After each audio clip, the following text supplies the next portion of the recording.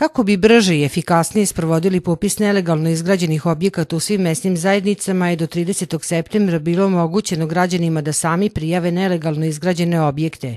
Do 27. novembra opštine su u obavezi da na svojim teritorijama popišu nelegalne objekte. Ljudi koji nemaju zahtev podnet po ranijim zakonima mogu jedino olakšati na, našim kolegama iz inspekcije koje su zaduženi za ovaj popis tako što će prijaviti sami svoj objekat.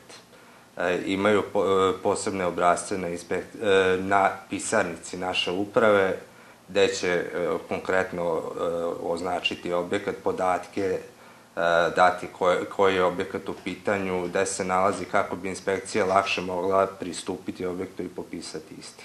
Po ranijim zakonima predato je oko 45.000 zahteva, a pozitivno je rešeno oko 8.000.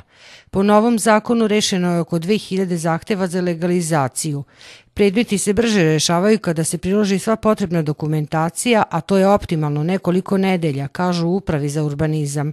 Najveći problem upravi je, kako kažu, manjak ljudi koji obrađuju zahteve. Kategorija objekata koji će sigurno biti rušeni su oni koji su izgrađeni u zonama zaštite kulturnog dobra, znači u, u zonama gde je zabranjena e, gradnja u smislu gde, gde je teren nepovoljan za građenje, ako je objekat izgrađen od materijala koji su nepovoljni za gradnju.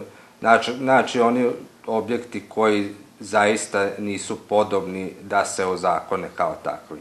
Za objekte koji nisu prijavljeni u postupak ozakonjenja, važeći zakon posle 27. novembra ne predviđa mogućnost da se oni ozakone. Inspekcija bi trebalo da ih popiše jer je to zakonska obaveza i da donese rešenje o rušenju.